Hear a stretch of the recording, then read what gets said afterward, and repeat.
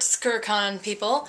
So, like I said earlier in the previous video, we went out to go find stuff. Now, the sad thing is, is I could not find Grell's teeth. I found out that they're online only, so I'm going to order them online next week with my next paycheck. This is Erin's pussy. And, but the good thing is, is that we did find Erin's teeth. And she'll put them in for you. So these are her Sebastian teeth, because he's a demon. So I bought those for her. About $20. They're the um, Scarecrow brand fangs. They're really nice. I'm going to probably get a pair for myself. Really liked them. and then chilling my teeth. we struck luck and found Grell glasses.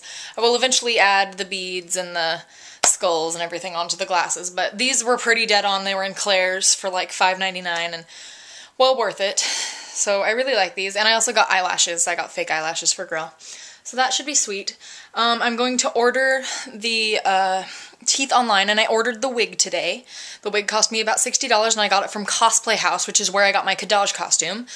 Um, and I'm going to get also Grell's costume from Cosplay House, and Sebastian's costume and wig from Cosplay House.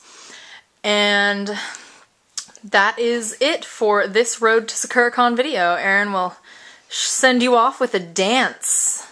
Okay, we're done. You, you suck. Quit. Go die. You terrible person. Oh.